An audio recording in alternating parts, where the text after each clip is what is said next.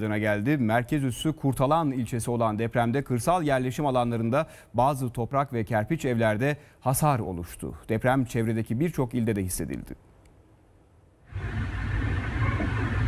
Kimi markette alışveriş yaparken yakalandı, kimi de ofisinde çalışırken. Herkes panik halinde sokağa çıktı. O korku dolu anlar güvenlik kameralarına yansıdı.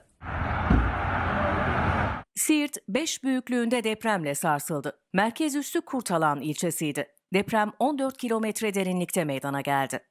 Çok kötü sallandı. Biz müşterilere bakıyorduk, içeride çalışıyorduk, tezgahların sallandığını duyduk. Birden hepimiz kendimizi dışarı attık, şiddetli bir sarsıntı oldu ama. Can kaybı veya yaralanan olmadı. Kurtalan'da Ulu Cami'nin minaresi hasar gördü. AFAD ekipleri kırsal bölgelerde de inceleme yaptı. Kayabağlar beldesi ve Karabağ köyünde bazı eski yapılarda hasar tespit edildi. Bölgeye çok sayıda AFAD, UMKE ve sağlık ekibi sevk edildi. Siirt merkeze bağlı Yerli Bahçe Köyü kırsalında deprem anında toprak kayması meydana geldi.